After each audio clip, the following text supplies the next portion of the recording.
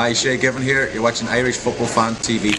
Hello and welcome back to Irish Football Fan TV. It's me, Paul, as always. I'm here in the studio just to talk about a couple of quick points. Uh, big news coming out of Ireland this week.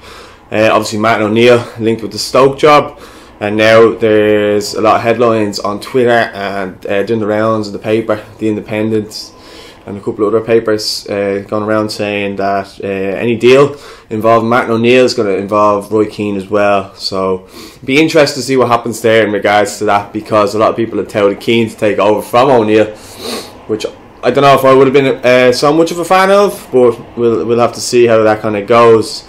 Um, just in terms of O'Neill going to Stoke, don't know if it's. Um, I suppose the money's going to be the big thing there, but uh, I think he's taken Ireland as far as he, he can take us anyway. Um, I think it'd be best for both parties probably if he does go uh, and leave it as as he has because um, the campaign didn't obviously go according to plan, but the the injury to Seamus Coleman was obviously a big one and a couple of key losses in the team as well in terms of players as well. So it'd be interesting to see what happens there. Um, we're gonna have a video on the managerial situation tomorrow, so keep an eye out for that one. In other news, uh, Seamus Coleman is back in full training, which, uh, as you can tell by that big smile on my face, I'm quite delighted about. I think every Irish fan is, is very much delighted for Seamus. Um, the sooner we see him back out on that pitch, the better. Uh, Sam Allardyce announced it the other night and the eight in the AGM on uh, I think it was Tuesday night. He announced it that uh, Seamus is back in full training, so it'd be interesting to see when he gets back. Uh, I imagine he's going to have a couple of reserve games just to build up his his fitness. Now the fact that Everton are out of every competition, um, it'll be easier to actually blood Seamus in because they'll only have one game a week, and uh, if those if those games go well, who's to say that uh, he would just gather up the minutes, minutes by minute, and then um, who knows? He could be in, in contention to uh, make his return to the Ireland setup now in the friendlies in March. Another player uh, on the Everton team who's come back from injury is James McCarthy, who's played uh, a number of games now, and uh, and he's done quite well. Uh, James, I believe, is a top qual- top quality player. I know a lot of Irish fans that watch him don't really see it, but uh, being an Everton fan, that I've watched him continuously, so I know what he what he brings to the team. If he can get back fit and uh, we can and depends on what type of manager we get in, but if it's a manager that wants to play ball, it'd be interesting to see. I mean, put McCarthy in there with Hendrick and uh, Harry Arter. That's a different outlook for the Irish team altogether. Now, in terms of um, midfielders going forward, obviously Alan Judge has um, is getting back now. He was 21 months out injured. And he's coming back into contention getting back playing as well. So all these players are starting to come back into uh, back from injury.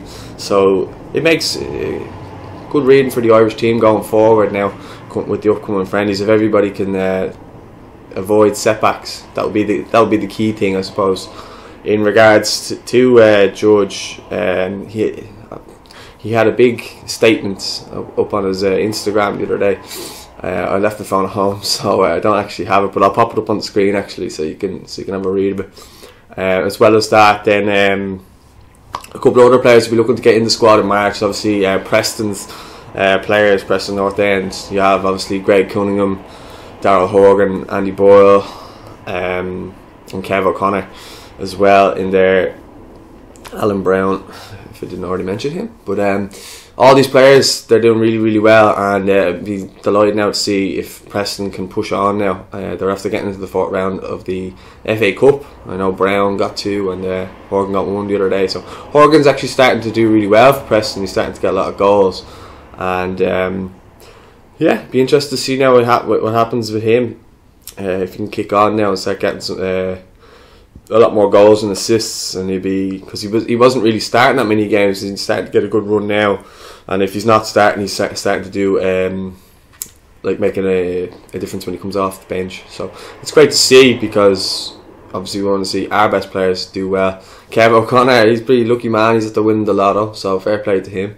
And uh, yeah, be interesting now as well to see when um, Sean Maguire will come back from injury. It'd be interesting to see if we can get him into the squad as well for those friendly games uh, against France and Turkey. So, as I say, it's exciting times if, if we can get all these players back from injury now and, and kind of push on. Uh, tomorrow we'll be speaking more about the managerial situation, who we'd like to get in, and so on. Uh, in the next coming quali- or not qualifier, sorry, friendlies, uh, who would you like to see uh, being picked into the squad? Leave your comments uh, below, and um, yeah, thanks for watching. Uh, if you like this video, give it a thumbs up. Don't forget to subscribe. There'll be a little bubble coming up, like right here somewhere, or there, somewhere like that. But um, yeah, check it out, and uh, don't be afraid to get in touch if you'd like to come in on the couch whenever. Get in touch with us, and uh, we'll see what we can do. Thank you very much for watching Irish Football Fan TV. Have a great day.